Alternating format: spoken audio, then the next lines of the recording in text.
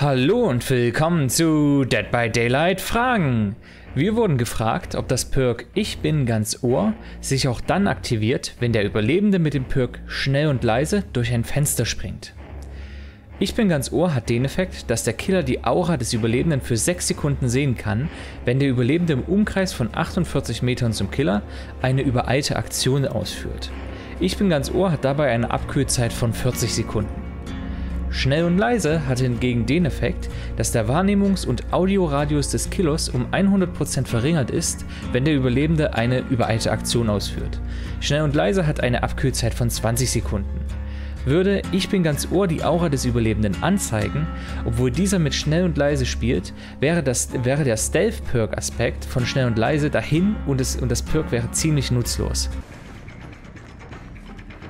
Wie ihr sehen konntet, aktiviert sich Ich bin ganz Ohr nicht, wenn der Überlebende schnell und leise nutzt. Jedoch aktiviert sich auch nicht die Abkühlzeit von Ich bin ganz Ohr, weshalb der Überlebende bei der nächsten übereilten Aktion aufgedeckt wird, solange schnell und leise noch auf Abkühlzeit ist.